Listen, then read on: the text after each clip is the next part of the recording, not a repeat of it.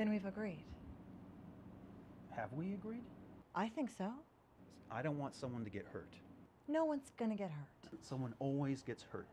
There's no someone. This is happening right here, right now, between you and me. Why me? Why you? You've got to be kidding me. Well, What is it? it's nothing. It's nothing. Nothing. What? Whatever. Whatever. Oh, stop it. This is totally you. What do you want? You know, I've been hurt before. Don't you think we all have? Yeah. No, you're right. Yes, I'm right. But you knew that. Hey, I'm here, aren't I? You're here. That said something. So what if this doesn't work out? I'll deal with it. But will I?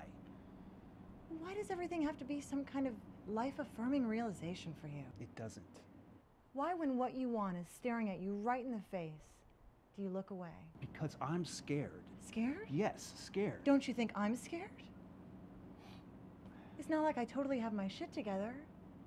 But sometimes you gotta take a leap of faith. Faith is something I don't have much of. You don't need much.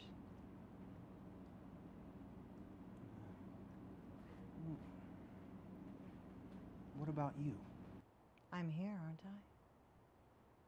Yeah, you're here. Are we agreed?